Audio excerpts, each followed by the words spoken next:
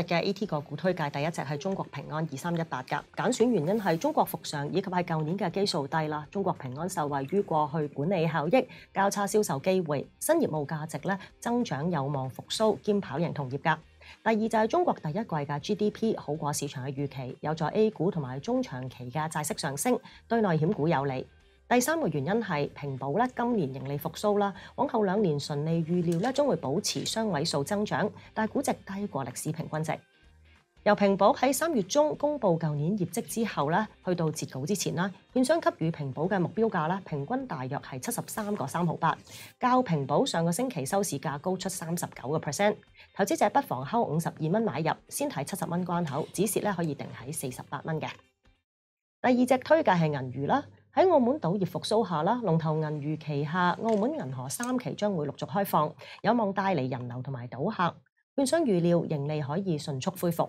截至二零二二年底嘅全年度，銀娛淨收益咧就係按年跌咗百分之四十二，去到一百一十五億嘅。自中國重新開放後，今年澳門賭業嘅經營情況有極大嘅改善。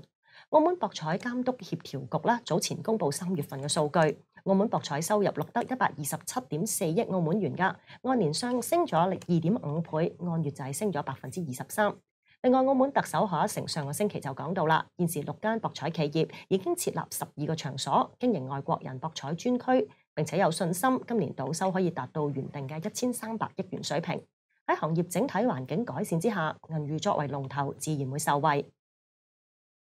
佢旗下嘅澳門銀河三期咧，將會分階段開放。